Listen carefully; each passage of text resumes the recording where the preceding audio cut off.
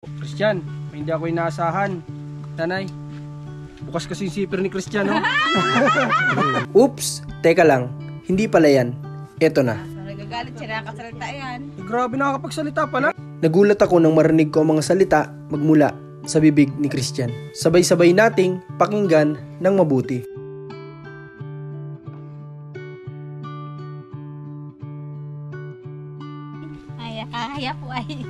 Ba't ka mahihiya, Ate Maribel? Kasi dapat proud ka pa rin kahit ganyan, no? Kasi ang ang sipag-sipag mo, kahit ganyan nga yung sitwasyon mo, nagluluto ka, gumagawa ka dyan sa bahay, ang dapat mahiya, Ate Maribel, yung mga kumpleto yung kamay, nakakakumpleto yung paningin, pero nakahiga lang sa bahay. Mm. Salamat po. Oo. no? Ano? Putol yata yan ah. Di mo... Good morning mga kalingap. Andito tayo ngayon papunta kala Christian. Dahil ngayon lang po medyo gumanda-ganda yung panahon. And thanks God kasi medyo mainit ngayon. Hindi ko lang alam mamaya. Umuulan. Kaya nagpunta po yung karpentero sa bahay. At sinabi nga niya po na halos 2 days siyang hindi nakapunta. Dapat ngayon tapos na po yun dahil nga po walang tigil yung ulan so sabi ko okay lang Ah, ngayon sabi ko kung makakapunta siya at medyo maganda yung panahon eh punta po siya ngayon para matapos na. So kumustahin natin sila mga kalingap pababa na tayo.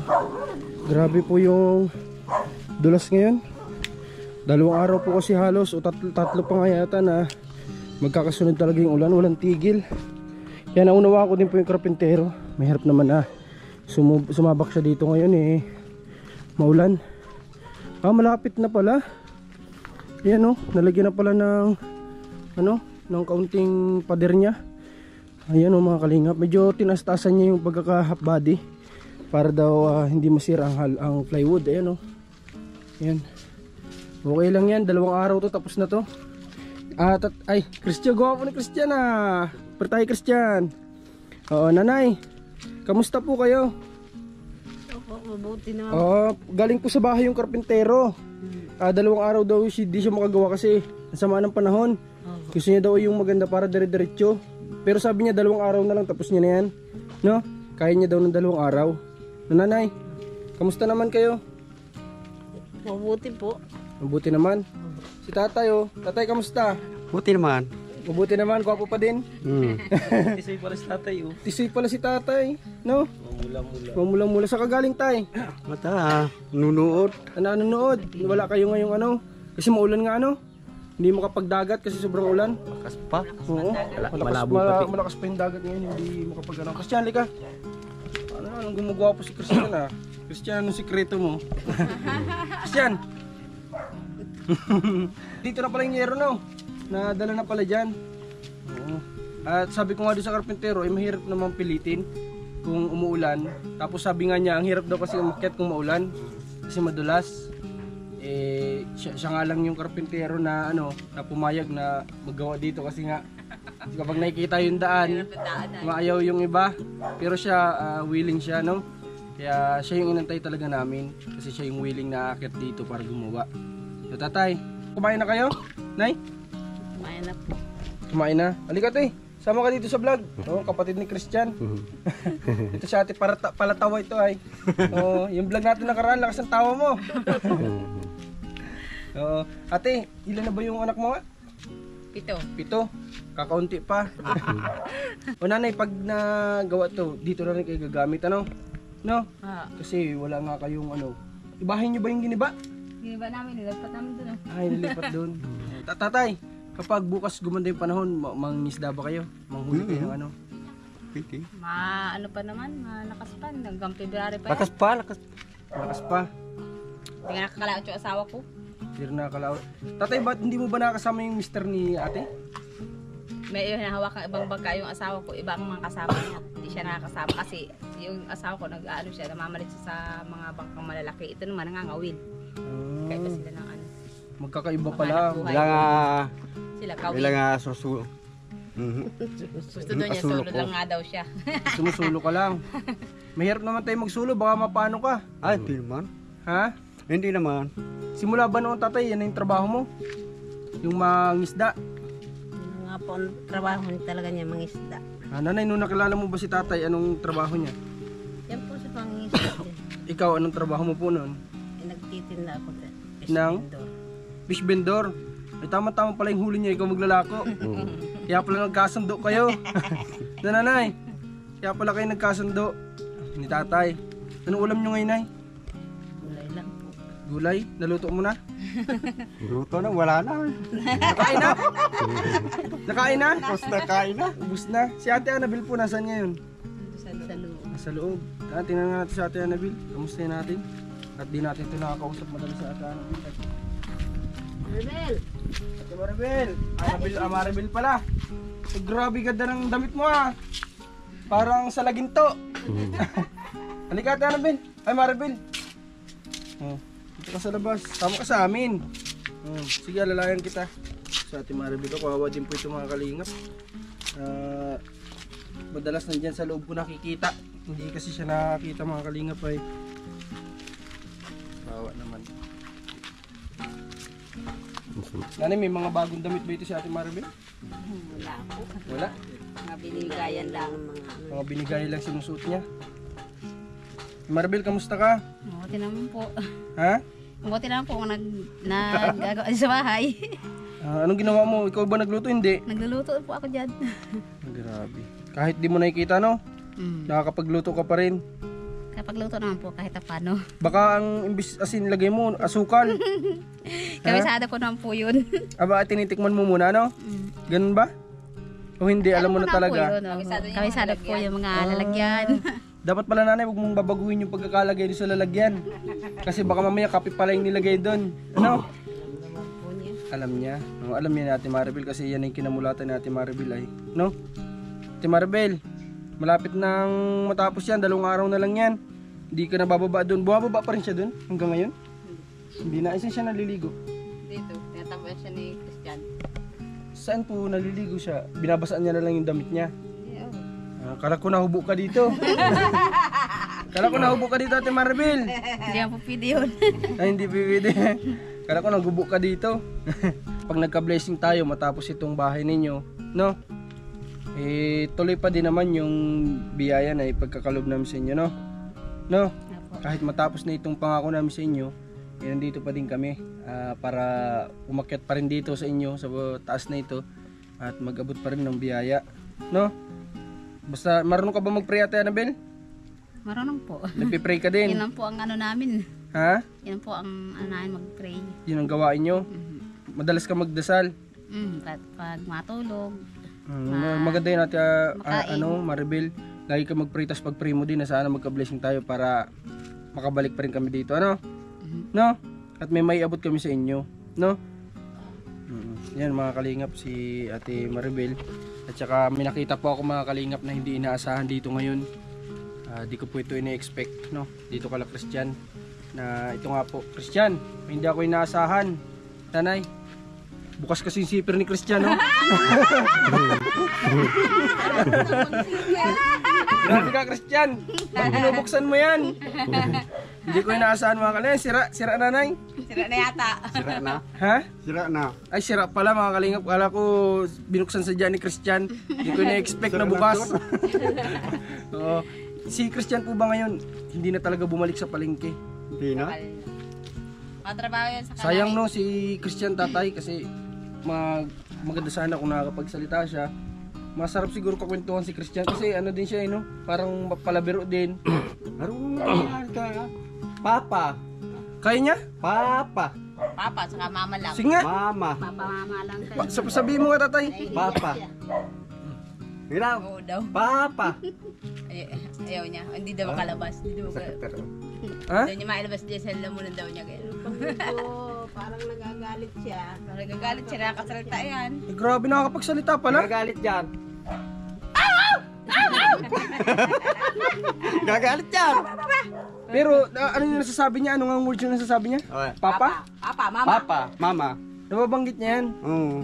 Hmm, Pero hindi madalas. Dalas. Pag may nagkikintuhan at naiingit siya, sabi niya, mama, mama, mama. Ginagaya niya. Ay, ganun? Pero narinig mo nang nagsalita siya ng mama? Mm-mm. Tsaka Maraming papa? bisis na, oo. Pag yung na, Natawag na- ano kapatid siya, dyan, may ma- Manila. Pag natawag yung kapatid namin na bunso, Hmm. kinakausap niya. Ay, ganun? Sabi niya, ah! Nga eh, si... Tatawa na ni Daniel. Hmm, gulat ako dito mga kalingap pa ngayon ko lang ito nalaman na si Christian di ko inaasahan. Yung kaninang di ko inaasahan, iba pala yon. Ang di ko pala inaasahan ngayon, eh, yung itong ano, si Christian pala yung nakakapagsalita ng mama at papa. Baka may may chance pa ito makapagsalita sa tingin nyo. Pwede kaya natin pa-check upan to? Oo ko lang. Baka yung ganyan na hinihila ng dila. Mula Kasi alam alam ko po sa ganito na, na ah, ate, di ba, parang maiksi yung dila kapag ganyan. niya, Niluloko nga ni Papa niya, hila mo dila mo ga, ah! Ba- malay natin may ibang solusyon po sa ganito. Kung magtatanong-tanong muna kami ano sa mga expert tapos kung sinabing may chance pa o ipa-check up namin, Wala yun, ano, dadali namin eh, si Christian. Ang klase kasi niya talaga sa Kaya naman yan. Ganyan siya nung maliit pa siya kasi ano, yung iba bagang bata karaniwan parang mga mag-isang taon na nagsasalita na siya ng utay-utay siya hindi sa kaibaan sa ano niya tawa. Ah, Hanggang sa lumaki siya ganun. ibig sabihin bata pa lang pala nakitaan na si Christian na talagang parang magiging ganyan pipi siya. siya. Oo. Kasi yung time na dapat nakakapagsalita na, siya hindi pa. Mm-mm. Ah, Di ba iba bata nagsasalita kaiba-ibang mga pronouns pag yung nag-ano siya yung naglalaro. mm-mm, Siya hindi. Hindi talaga. Tahimik lang yan. Tapos, Baka naman tatay ano, ah, hindi nyo siya sinagan turo ano ng mga ano, ABCD ganyan. Yung pagsasalita ba? Turuan naman kaya. Turuan naman. Oo, turuan na. Talagang hindi lang mahina lang yung development ano. Dati may nagpunta dito nagtuturo dyan yung mga ano Ah, ng pa- Sign language. Oh, sign language. Oh. Kaso nga hindi na nagbalik dito mga ano mga aral pa rin naman siguro yun. At saka siguro na balik lang. hindi bumalik kasi yung daan. Grabe po kasi mga kalingap yung daan dito. Sa totoo lang ate, kami matagal na din ako dito ng residente sa Kapalongga. Pero ever since di pa ako dito, di ko alam na may mga bahay dito. Kaya nung nakapunta ako dito, nagulat ako, oh may bahay pa pala dito. kasi lagi lang kami diyan sa highway, diyan lang kami lagi dumadaan. No? Kung talagang mga kalingap, kung hindi mo talaga minsan susuyurin yung mga lugar-lugar, hindi mo malalaman na may mga tao pa pala doon na nangangailangan din ng tulong. Kagaya nitong pamilya nila, oh. Nila Christian. No, Christian? Kakapagsalita ka pala ng mama papa, gusto ko sana marinig eh. Ayaw, nahiya Ha? siya. Nahiya lang po yan. ah. Mama, mama, bino. Ay, oo nga ano. May nalabas na sa may ano, mama. Papa daw, papa. Papa, Papa. Ay, oo. papa. May sounds na nalabas, no? Kasi kung talagang... Malago nga ang boses niyan pag kasalta ng papa. Oo, malagong. Papa. Saan mo? Papa. Lakas. Oh, marunong ano? Papa daw. Grabe, marunong pala si Christian. Tataray ko ito si Christian po yung pagtanong. Nakakapanghinayang po ay may tsurang tao, masipag, tapos kulang na lang pagsasalita na lang. Malay natin, may chance pa pala, no? May mga ginagawa din po dyan ay, no, may mga practices. Minsan pinapractice lang, di ba? Pinagpapractice ng pagsasalita. Kung kailangan pag-aralin para matutong magsalita, pwede yan, no? Kataka. Kakanta ka, Christian! Ah, naiingit dyan sa mga nagkakanta. Wala, Siya daw, kawawa naman. wala na daw nalabas na gabos sa kanya. Siya daw gusto rin niya magkanta. Ay, ganun, kawawa naman mga kalingap. Gustong gusto pala, mahilig palang kumanta si Christian. Kumbaga, gustong gusto niya, pero walang lumalabas daw na boses sa kay Christian. Sinasabi niya walang lumalabas, Wala daw. Wala daw nalabas na ganyan. pero gusto niya. Oo, kanta daw siyang ganyan. sa kantahan, pag nakikita niya, naiingit siya. Kawawa naman. Nanay, halika, tatay. Si Maribel, dito po kayo. At dito si Ate Maribel, bihira natin makasama sa vlog ay. Lagi kasi si Ate Maribel nandun sa loob, nagkukulong. Ba't nahiya ka po ba, Ate Maribel? Ha? Ay, kaya po ay. Ba't mo ka mahiya, Ate Maribel? Kasi dapat proud ka pa rin kahit ganyan, no? No? Kahit ganyan yung sitwasyon mo, ka mahiya, no? Kasi ang ang sipag-sipag mo, kahit ganyan nga yung sitwasyon mo, nagluluto ka, gumagawa ka dyan sa bahay, ang dapat mahiya, Ate Maribel, yung mga kumpleto yung kamay, nakakakumpleto yung paningin, pero nakahiga lang sa bahay. Di ba? Sila yung dapat na mahiya. Pero yung kagaya nyo po na ganyan, di nakakita pero kumikilos pa rin, kayo po dapat ay hindi mahiya, no? Hmm, Nanay, may biyaya ako sa inyong bibigay, oh. Oh. Nanay, hawakan mo po. Tatay, kay nanay ko bibigay, no? Mga kalingap, ah, thank you, thank you so much kay Ma'am Gundang na nagpaabot nito dito sa pamilyang ito. At sana po ay pagpalain pa kayo. Ito po, makakatulong po ito sa pamilyang ito. Nanay, hawakan mo. Hmm. Salamat po. Oh. No? Ano, putol yata yan ah. Di mo maibili. Ayan. So yan, nanay. Salamat ka mga doon sa ano. Anong gusto mong sabihin kay Ma'am, sabihin mo kay Ma'am Gundang? Anong Maraming salamat po sa inyo po, Ma'am Gundang. Mm, Dahil malaking tulong na po ito sa amin. tama. Talagang ito. Okay, tatay, tatay, ano masabi mo kay Ma'am Gundang? Nahiya. Hiya ka, sige na tatay, sabihin mo, salamat. Salamat. Salamat po. Di ba, Si parang Maribel, ikaw, anong gusto mo sabihin? May nagpaabot ng 2,000 Oh, dalawang sa libo inyo. yan, ito.